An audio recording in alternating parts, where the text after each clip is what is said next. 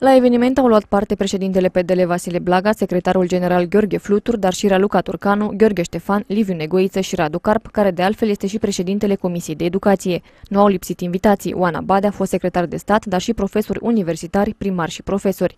Programul Educația cu adevărat o prioritate națională își propune creșterea și menținerea procentului acordat pentru educație de 5% din PIB și garantarea lui prin Constituție, dar și introducerea unor centre de calificare regionale pentru absolvenții promoției 2013. Astfel, Astfel, democrații liberalii doresc competență, performanță, dar și ceea ce este cel mai important, adaptabilitatea la piața muncii. Organizația de femei a Partidului Democrat Liberal, filiala Argeș, a avut reprezentant la Sibiu în persoana Cătălinei Dumitrașcu, care este președintele Comisiei de Învățământ a PDL din Argeș. Săptămâna viitoare se va întâlni Comisia de Învățământ din Argeș pentru a face publică activitatea din educație a Uniunii Social-Liberale. Liderul Vasile Blaga a declarat că susține ideea reintroducerii examenelor de admitere în liceu și în facultățile de stat. Totodată, democrații liberalii vor ca prin programul Educație educația cu adevărat o prioritate națională, construcția de grădinițe și creșe prin încurajarea parteneriatului public-privat, stimulente fiscale pentru cercetare și acordarea de credite elevilor și studenților destinate studiilor și cercetării. Acestea sunt câteva dintre obiectivele acestui program.